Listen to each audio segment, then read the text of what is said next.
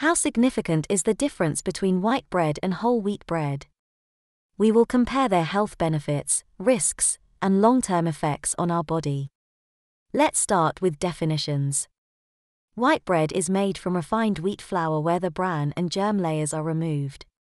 This means it loses certain nutrients. In the case of whole wheat bread, it contains everything bran, endosperm, and germ, making it richer in nutrients.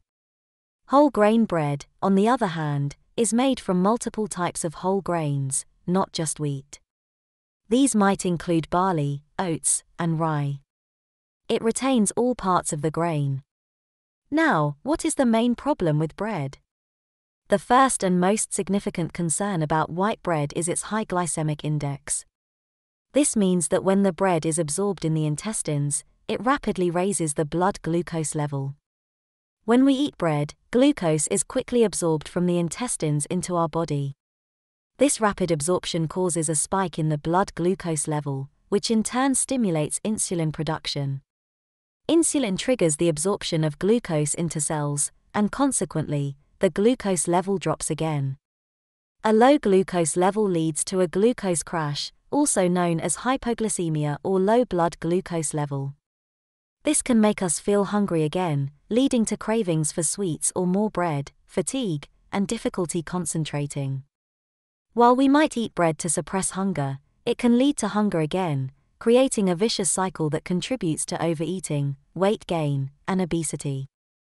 Over time, these glucose spikes can lead to constantly elevated insulin levels, which stimulate the insulin like growth factor, promoting cancer cell growth. Regular consumption of bread can increase the risk of many cancers, including colorectal, breast, gastric, and prostate cancers. And it's not just cancer that's a concern, but also other chronic diseases.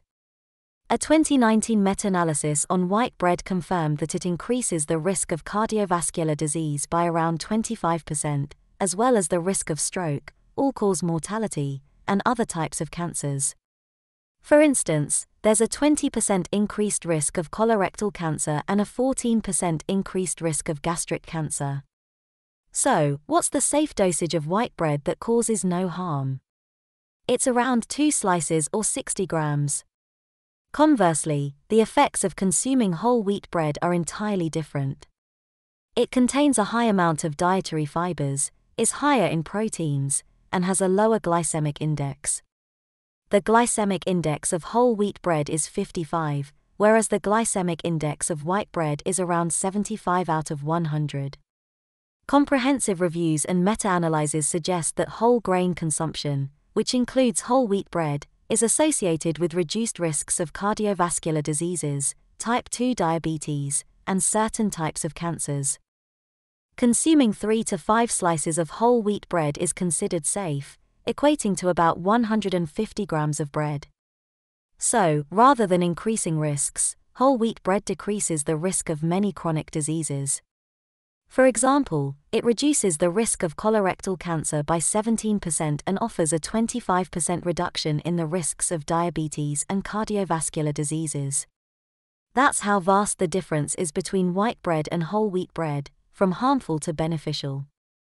Lastly, it's worth noting that among other whole grain breads, oat bread is on par with whole wheat bread in terms of health benefits.